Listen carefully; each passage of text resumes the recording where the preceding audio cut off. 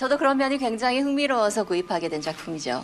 살다 보면 고통스러운 진실은 외면하고 싶은 게 우리 인간의 본성 아니겠어요? 혹시 회장님께선 진실을 외면한 적이 없으십니까?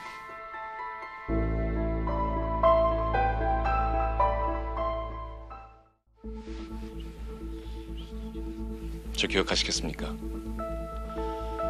10년 전 아드님 사건에 진실을 밝히고 싶었던 강지민 기자입니다. 정말 며느리가 죽였다고 생각하십니까?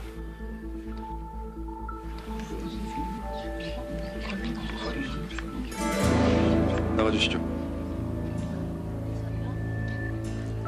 괜찮아.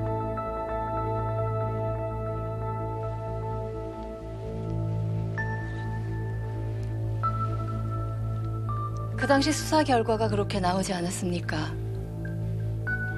네, 물론 그랬죠. 근데 고작 50kg도 되지 않는 여자가 자신보다 훨씬 큰 남성을 상대로 갈비뼈에 금이 가도록 칼을 찔렀다. 그거 좀 이상하지 않으셨습니까? 하고 싶은 말씀이 뭐죠? 참고로 저는 다른 가능성에 대해서 취재를 하고 있었습니다. 정말로 며느리가 죽였을까? 만약 그랬다면 가정 폭력으로 인한 정당 방위는 아니었을까? 뭐 이런 의문점이 좀 들더라고요. 근데 그러던 와중에 갑자기 특파원으로 발령이 나서 그 사건을 끝까지 파헤치지 못했습니다.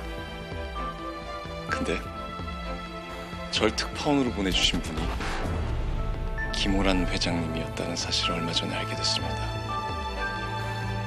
이것도 우연의 일치입니까?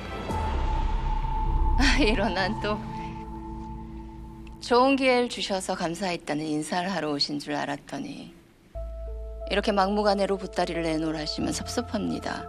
이거 어디 무서워서 물에 빠진 사람 건지겠습니까?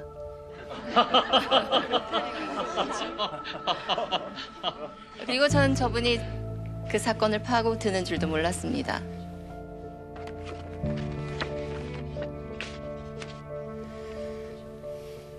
이게 뭔지 아시겠습니까?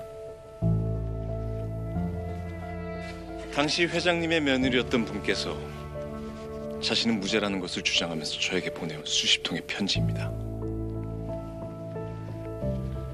근데 보시다시피 단 한 통도 빼놓지 않고 모두 반송이 되었죠. 절대 제 손에 들어오지 못하도록 말이죠.